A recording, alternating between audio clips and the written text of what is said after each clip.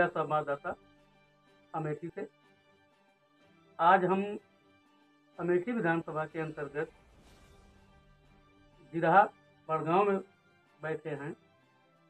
इनसे जानते हैं, दीपक सिंह हैं। इनसे जानते हैं चुनाव के बारे में क्या माहौल चल रहा है। चुनाव के माहौल के विषय में तो क्या चर्चा करें? इस समय जो अमेठी लोकसभा क्षेत्र है, इसमें माहौल तो कांग्रेस का मज़बूत दिख रहा है।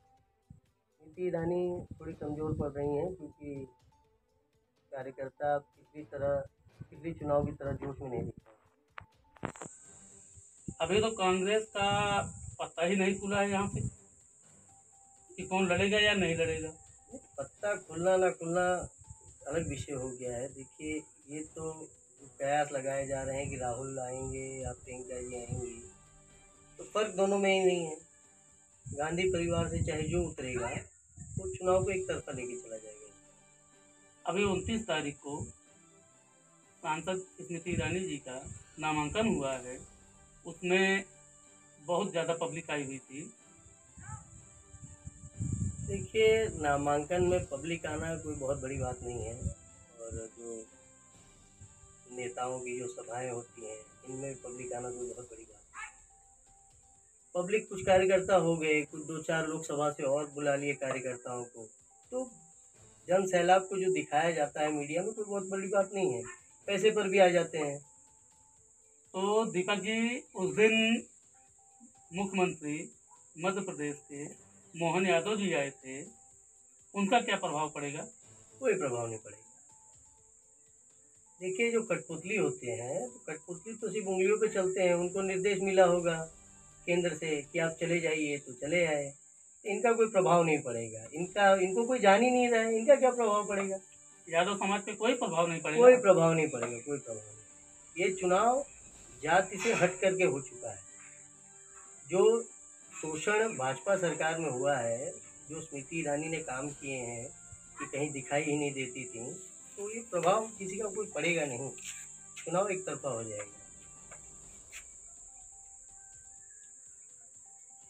इनका जो पाँच साल का कार्यकाल रहा, वो कैसे था? पाँच साल का कार्यकाल का बखान तो आप जनता से पूछेंगे तो अपने आप हो जाएगा। एक बहुत साधारण सी बात है, आप अमेठी से जो राय बरेली की सरहद है, आप इस रोड पे चले जाइए, आपको इनके कार्यकाल का पूरा अनुभव हो जाएगा। सड़क में गड्ढे हैं कि गड्ढे में सड़क है, आपको पता नहीं चलेगा। आप अमेठी से किठावर रोड आ जाइए शिलान्यास हो गया जहाँ तक हमारी जानकारी शायद टेंडर भी नहीं हुआ होगा पर शिलान्यास हो गया है।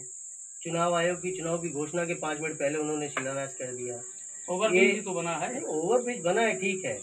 तो पाँच साल बैठी हैं सांसद निधि उनको खर्चा करना है तो एक आध ओवरब्रिज बन गया तो कौन सा बड़ा काम कर दिया? आप सांसद हैं बीस लाख लोगों के बीस लाख वोटर के।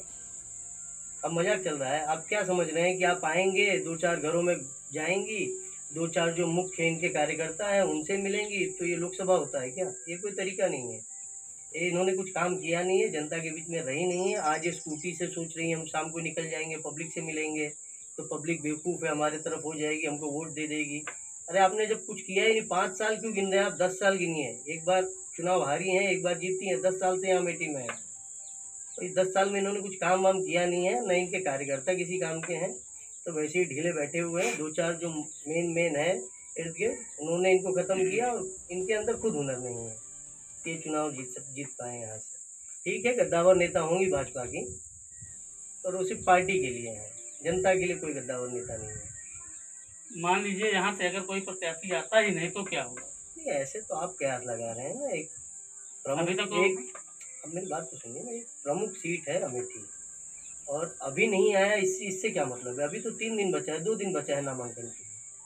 तो दो दिन तो बहुत होता है नामांकन दायर करने के लिए। तो उसमें कौन सी बड़ी बात है? तो लास्ट मोमेंट पे भी कोई प्रत्याशी आ जाएगा और वो नामांकन करेगा। चुनाव फिर एक तरफा होगा। मैं आपको बता रहा हूँ ये आखिरी मूवमेंट पे भी अगर कांग्रेस से पर्चा गांधी परिवार से कोई भर देता है तो चुनाव एक तरफा हो जाएगा।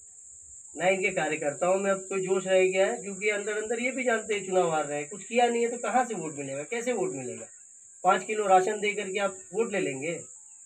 आप जनता, हिंदुस्तान के आने वाले भविष्य को आप गुलाम बनाने का प्रयास कर रहे हैं, अपाहिज बना रहे हैं।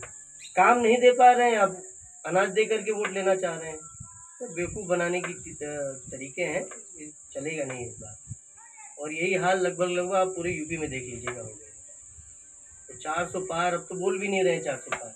नहीं नहीं। तो अभी नामांकन नामांकन में भी तो ये बोले हैं कि चार सौ पार है। स्मृति ईरानी बोल रही है ना चार सौ हो सकता है चार सौ वोट पा जाए। मान सकता हूँ चार सौ वोट पार कर जाएँगे और इससे ज़्यादा कुछ हो नहीं रहा है इनका।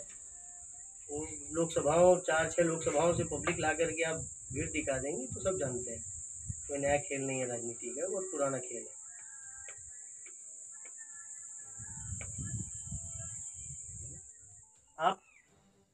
कांग्रेस की बात कर रहे हैं।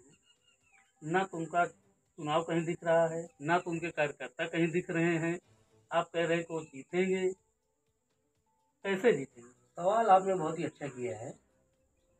देखिए, जहाँ तक चुनाव के प्रचार का है, कांग्रेस के प्रचार का है तो अमेठी जो लोकसभा है, ये एक बेटन टाइप का है कांग्रेस के लिए, गांधी परिवार।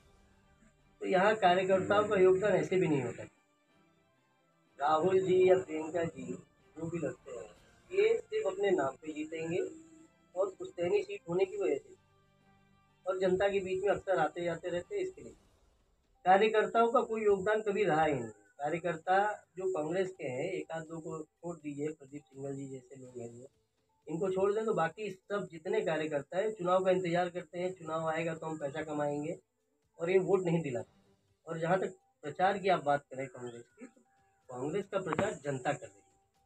जो गरीब जनता है जो समझ रही है कि आप उनके भविष्य के उनके बच्चों के भविष्य को दाव पे लगा रहे हैं प्रचार जनता कर रही है। कार्यकर्ताओं की कोई ज़रूरत नहीं है। सब फर्जी टाइम पास कर रहे हैं। दलाल हैं एक नंबर के कांग्रेस के जितने कार्यकर्ता है उनको कोई मतलब नहीं है। अभी अभी आपने ये बोला कि राहुल गांधी बराबर आते हैं। हम्म, हमारे ख्याल से लगभग छह महीने से तो नहीं दिखाई दिए हैं। बीच में एक बार आए हुए थे कब अभी कुछ दिन पहले आए हुए थे। देखिए आप। स्मृति ईरानी, जो एक लोकसभा देखती हैं, जहाँ से वो सांसद हैं, तब तो वहाँ नहीं पा रही आप साल में रिकॉर्ड निकालेंगे तीन सौ पैंसठ दिन में से तो शायद तीस दिन आई होंगी। पूरा रिकॉर्ड आप निकाल लीजिएगा। तीस दिन भी नहीं होगा उनका पूरा पूरा ठीक है? और राहुल गांधी, जो पाँच सौ पैंतीस लोकसभा देख रहे हैं। आप उनसे उनका कैसे तुलना करेंगे? उसके बावजूद इतना व्यस्त पूरा इंडिया देखने के बावजूद व्यस्त होने के वो समय निकालते हैं बेटे के लिए। बहुत बड़ी बात है। आप दोनों की तुलना ही नहीं कर सकते। तो आपके हिसाब से क्या होगा? कांग्रेस जीत मेरे हिसाब से कांग्रेस जीत जाएगी क्योंकि भाजपा में कोई रणनीति दिख नहीं रही। ये लोग भले अपने मुँह से बोल रहे हैं हम इतना वोट पाएँगे ये वो- ये करेंगे वो करेंगे ना कार्यकर्ताओं में जोश है। और जो इनके रणनीतिकार हैं, वो खुद सुस्त बैठे हुए हैं। इनको खुद अंदर अंदर पता है कि हम चुनाव जीतेंगे नहीं। भले प्रयास कर रहे हैं, और न उस दिशा में हमको जाते दिख रहे वही पुराना राग अलाप रहे हैं। और रही बात स्मृति ईरानी की व्यक्तिगत, आपको मैं बताऊँ, उनकी व्यक्तिगत, जो ये लोग व्यक्तिगत हमला करते हैं, गांधी परिवार पे कांग्रेस कांग्रेस पे होल्ड करें तो कोई दिक्कत नहीं है, लेकिन ये व्यक्तिगत हो जाते हैं। चाहे हमारे माननीय प्रधानमंत्री जी हों, चाहे स्मृति ईरानी जी हो व्यक्तिगत हो जाते हैं तो उनको ये समझना चाहिए, ये कोई कलाकारी की दुनिया नहीं है। कि आप आए हैं, चार पाँच टेक लेंगे रीटेक होगा, और आप एकदम परफेक्ट दिखेंगी। आपको जनता ने पाँच साल पूरा दिया, आप उसमें टेक करें कि रीटेक करें। लेकिन अब जनता समझ चुकी है, आप एक एक्टर ही हैं। अब नेता या किसी के मददगार या जन, जनता के प्रतिनिधि बनने की आपकी हैसियत नहीं है।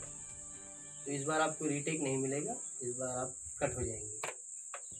तो आपके हिसाब से आपकी बार ये चुनाव यहाँ से हार जाएगा? हंड्रेड परसेंट हंड्रेड परसेंट हार जाएँगे। क्योंकि इनकी कोई योजना ही नहीं है। ये वही पुराना एक सिस्टम बना रखा है इन लोगों ने उसी सिस्टम से लोग चल रहे हैं और कोई नया स्ट्रेटेजी नहीं है कुछ नहीं है कुछ होगा नहीं इस बार। चलिए